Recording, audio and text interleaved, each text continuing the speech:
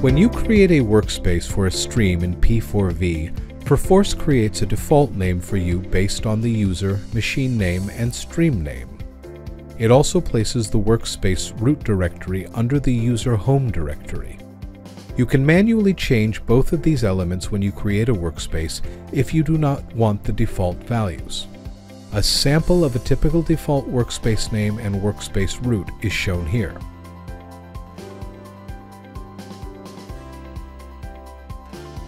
Within P4V, you have the option of using a single workspace and moving it between streams, or creating multiple workspaces, one for each stream you work in. You configure this setting in the P4V Preferences dialog under the Connections tab. Context switching is the process of moving a workspace between streams. Using a single workspace and switching it between streams might make sense when you have a lot of data or large files in your workspace and you don't want to have several copies laying around.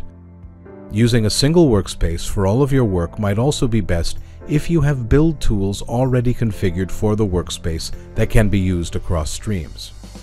When you move a workspace between streams, Perforce only updates files in your workspace that differ between the two streams, which makes the process very fast in streams that share a lot of common files.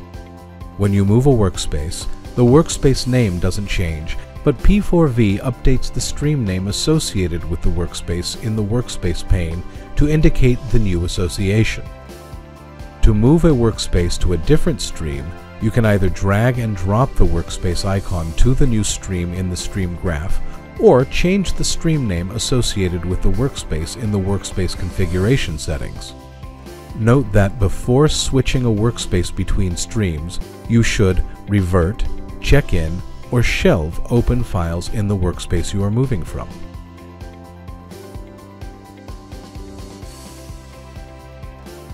Using a separate workspace for each stream you work in might make sense if you have different IDE projects, tools, or build configurations for different streams. If you've configured P4V for multiple workspace support, you can also use multiple workspaces for a single stream, each one dedicated to a different activity such as test, build, integrate.